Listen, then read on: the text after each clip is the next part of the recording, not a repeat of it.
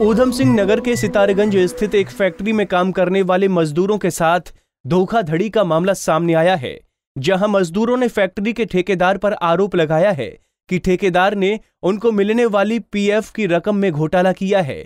इतना ही नहीं, ठेकेदार ने पीएफ मांगने पर मजदूरों को काम से भी निकाल दिया है। पाँच साल हमें काम करते हुए इसलिए अविनाश कुमार हमारा पी एफ़ देने से आज मना और ऊपर से ये भी जहाँ मर्ज़ी तुम्हें जहाँ जाना है। अपने क्षेत्रीय विधायक सौरभ अगुना के पास चले जाइए। वहीं इस पूरे मामले में एसडीएम ने जाँच के आदेश दे दिए हैं। जो अनपला कंपनी में काम करते थे वो लोग हमारे पास आए थे। उनका ये कहना है कि उन्होंने किसी ठेकेदार को पी एफ़ के जो पैसे करते थे उसकी अभी तक उनकी वापस नहीं हुई तो इस संबंध में हमने लेबर इंस्पेक्टर से बात की है।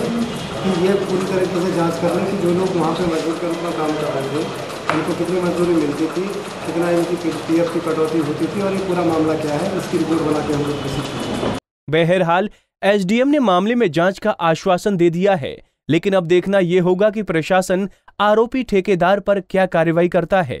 ऊधम सिंह नगर से यामीन मलिक की रिपोर्ट।